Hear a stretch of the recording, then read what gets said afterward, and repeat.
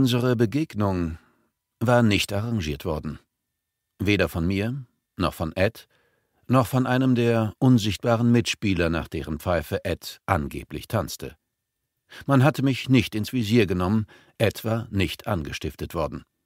Wir wurden weder heimlich noch offen observiert. Er forderte mich sportlich heraus. Ich nahm die Herausforderung an, wir spielten gegeneinander. Es bestand kein Plan, keine Verschwörung, keine Absprache mit irgendjemandem. Es gibt Ereignisse in meinem Leben, nur wenige dieser Tage zugegeben, die nur Raum für eine einzige Version lassen. Unsere Begegnung ist von dieser Sorte. Und was ich darüber sage, hat sich bei all den Gelegenheiten, bei denen ich mich wiederholen musste, nicht verändert.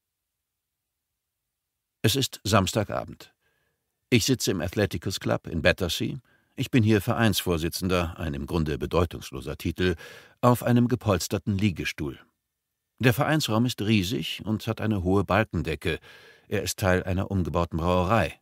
Mit einem Swimmingpool am einen Ende, einer Bar am anderen und einem Gang dazwischen, der zu den getrennten Umkleideräumen und den Duschen führt. Ich sitze mit dem Rücken zur Bar und schaue in Richtung Pool. Hinter der Bar liegt der Zugang zum Vereinsraum, davor der Eingangsbereich, davor wiederum die Tür zur Straße. Ich war also nicht in der Lage zu sehen, wer den Raum betrat oder wer sich davor herumtrieb, die Ankündigungen studierte, ein Spielfeld buchte oder seinen Namen auf die Turnierliste setzte. Um die Bar herum herrscht lebhaftes Treiben. Junge Frauen und ihre Verehrer planschen im Pool und plaudern. Ich trage meine Badmintonbekleidung, Shorts, Sweatshirt und ein neues Paar knöchelschonender Sportschuhe. Die habe ich mir im Kampf gegen leichte Schmerzen im linken Knöchel gekauft, die mich seit einer Wanderung durch die estnischen Wälder im Monat zuvor plagen. Nach mehreren ausgedehnten, unmittelbar aufeinanderfolgenden Einsätzen im Ausland genieße ich eine wohlverdiente Auszeit in der Heimat. Über meinem Berufsleben liegt ein Schatten, den ich zu verdrängen versuche, so gut es geht. Ich rechne damit, am Montag rausgeworfen zu werden. Nun, dann soll es so sein, versuche ich mir einzureden. Ich werde 47. Ich hatte eine gute Zeit, so lauteten die Bedingungen von Anfang an, also hör schon auf zu jammern. Umso tröstlicher zu wissen, dass ich trotz meines fortgeschrittenen Alters und eines lästigen Knöchels weiterhin allein regierender Vereinsmeister bin, nachdem ich erst am vergangenen Samstag den Einzeltitel gegen einen talentierten jüngeren Gegner verteidigt habe. Die Einzeltitel werden gemeinhin als exklusives Vorrecht energiegeladener Spieler in ihren Zwanzigern angesehen, doch bislang habe ich mich behaupten können. Heute habe ich mich der Vereinstradition gemäß als neu gekrönter Meister in einem Freundschaftsmatch mit dem Champion unseres gegnerischen Vereins auf der anderen Seite des Flusses in Chelsea gemessen und mich gegen ihn durchgesetzt. Und nun sitzt dieser ehrgeizige und faire junge Rechtsanwalt aus Indien im Nachglanz unseres Kampfes mit einem Glas Bier in der Hand neben mir. Bis zu den letzten Aufschlägen stand ich ziemlich unter Druck, doch dann wendete sich dank meiner Erfahrung und ein wenig Glück das Blatt doch noch zu meinen Gunsten. Vielleicht erklären diese Umstände, warum ich in dem Augenblick, als Ed mich herausforderte, Nachsicht walten ließ und den, wenn auch nur flüchtigen, Eindruck hatte, dass es ein Leben nach dem Rauswurf gab.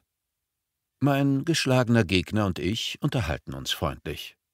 Es ging, ich erinnere mich daran, als sei es gestern gewesen, um unsere Väter. Beide waren sie begeisterte Badmintonspieler gewesen, wie sich herausstellte. Seiner war Zweiter bei den indischen Meisterschaften geworden, meiner durfte sich eine glückliche Saison lang Meister der britischen Armee in Singapur nennen.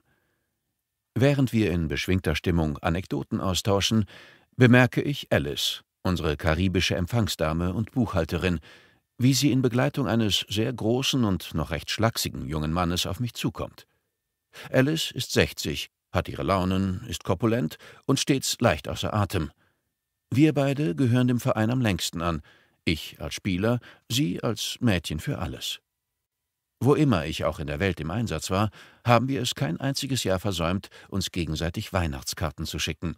Meine waren gewagt, ihre religiös. Wenn ich sage, dass die beiden auf mich zukommen, dann meine ich damit, dass sie sich erst von hinten nähern müssen, um sich dann umzudrehen, was sie lustigerweise synchron tun. Mr. Sir Ned, Sir, verkündet Alice mit feierlicher Miene. Meist bin ich Lord Ned für Sie, doch heute Abend gehe ich nur als gewöhnlicher Ritter durch. Dieser attraktive und höfliche junge Mann möchte gerne ganz persönlich mit Ihnen reden. Er wollte Sie im Augenblick Ihres Triumphs nur nicht stören. Das ist Ed. Ed, darf ich Ihnen Ned vorstellen? In meiner Erinnerung steht Ed, dieser über 1,90 große, schlachsige junge Mann mit Brille, der eine gewisse Einsamkeit ausstrahlt, eine ganze Weile peinlich berührt lächelnd ein paar Schritte hinter Alice. Ich weiß noch, wie ihn zwei konkurrierende Lichtquellen trafen. Die orange Lichtleiste von der Bar, die ihm einen himmlischen Glanz verleiht, und hinter ihm die Deckenstrahler des Swimmingpools, die ihn in eine übergroße Silhouette gießen.